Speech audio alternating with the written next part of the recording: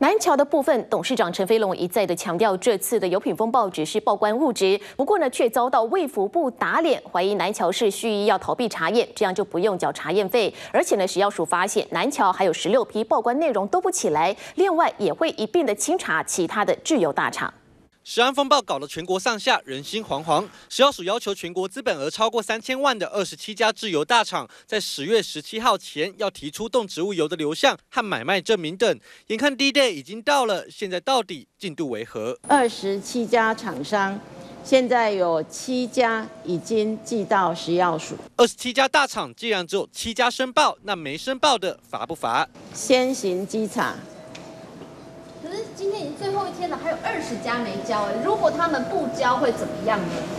先行稽查，像跳针一样讲两次，要先稽查再决定是否开罚。另外在查的还有南桥从菲律宾进口的二十五批油，确定九批没问题，但有十六批资料不符。十六件呢，是因为它的那个进口船名跟呼号令班次啊，跟原来的报关的内容。有一点点差异，我们现在请南桥公司必须要补送文件过来。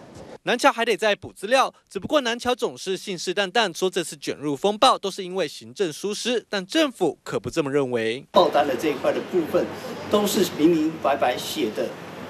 供工业使用，卫福部说的清清楚楚，南桥是以工业油进口，而且根据规定，食品报关得经过食药署抽验，并缴交查验费。南桥是以工业用途报关，则不用缴费，也免抽验。因此，食药署强烈怀疑南桥刻意规避查验。只不过，到底为何报关会出问题，还是得有检调进一步厘清，才能让国民能够安心。UDN TV 蔡宗如、李宗宪台北报道。